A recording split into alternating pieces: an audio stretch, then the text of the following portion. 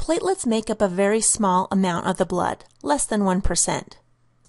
Platelets are cell fragments that circulate throughout the circulatory system. When they form a plug preventing blood loss, they also release chemicals which are involved in the blood clotting process as well as have local blood flow effect. In the event of vessel damage, platelets form a plug preventing or minimizing blood loss. Once platelets adhere to a site of damage, they can become very sticky and more platelets will adhere in a dogpile manner. This formation is called a platelet plug. Hemostasis is the process of blood loss prevention. There are three main phases. The first phase is the vascular phase, which reduces blood flow to the area of damage. This occurs by vasoconstriction as well as increasing the adhesion of the damaged endothelium to platelets floating by. The second phase involves platelets clumping together to form a platelet plug.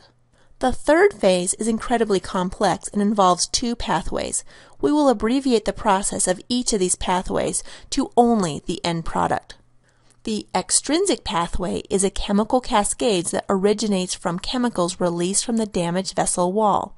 The intrinsic pathway originates from the chemicals released from the platelet plug chemicals from both the damaged vessel wall or the extrinsic pathway and the platelet plug or the intrinsic pathway end up creating prothrombinase.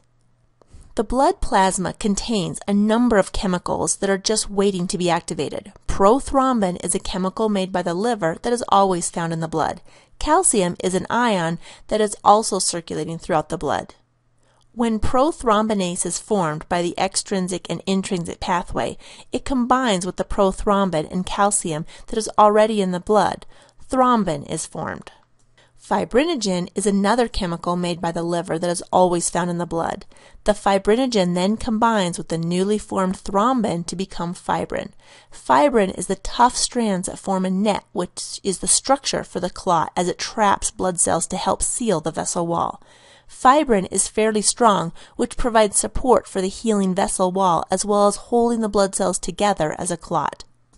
Components that interfere with the clotting processes are aspirin, the drug Plavix, among others, the drug Coumadin, and heparin. Each of these anticoagulants act on a different part of the clot formation pathway. Aspirin prevents platelets from clumping and therefore reduces the amount of prothrombinase that is created from the intrinsic pathway. Coumadin targets the large intestine, preventing the absorption of vitamin K. Vitamin K is important for the liver to make prothrombin. With less prothrombin available in the circulation, clot progression is severely hampered. This is why patients that are taking Coumadin must not eat vegetables that are high in vitamin K, such as leafy green vegetables, or that will override the effects of the drug. Heparin is also made by the liver and acts to inhibit thrombin, thus also reducing the fibrin formation. Heparin can also be given pharmaceutically to prevent clot formation. Fibrinolysis is a process that occurs naturally to remove the blood clot once it is no longer needed, such as after the vessel wall has been repaired. Plasminogen is a plasma protein that is always in the blood. It combines with any number of activators to form plasmin. Plasmin breaks down fibrin and therefore dissolves clots.